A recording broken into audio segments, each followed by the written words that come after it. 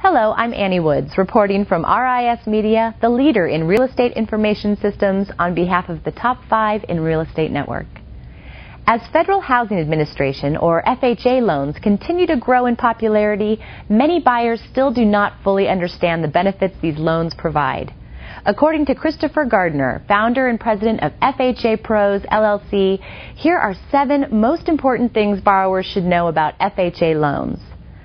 First of all, know that FHA loans are not only for lower income borrowers. FHA loans are available to everyone. There is no maximum income restriction associated with FHA loans, but borrowers do need to substantiate income and assets by submitting proper documentation. FHA loans are not just for first-time buyers. Many people believe FHA loans are available only to first-time home buyers, but this is not the case.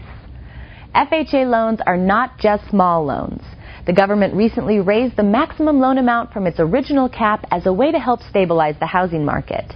The amount a buyer can borrow varies from county to county, though. FHA loans are not affiliated with the Section 8 housing program.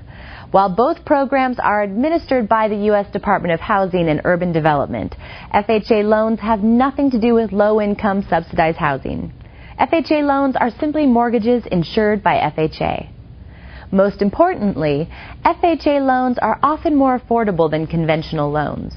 While FHA loans typically offer the same interest rates as other loans, borrowers benefit from a much lower down payment.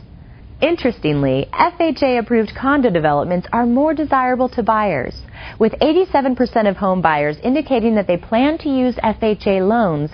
Condo associations that are not FHA approved are missing out on a significant pool of prospective buyers. Finally, know that FHA loans are assumable. In addition to lower down payment and credit qualifying requirements, FHA loans are assumable. This means that when a seller with an FHA loan sells his or her property, the loan and its financing terms can be transferred to the new buyer. For more real estate tips and topics, don't miss next week's installment of Top 5s This Week in Real Estate. Thanks for watching. I'm Annie Woods reporting from RIS Media, the leader in real estate information systems.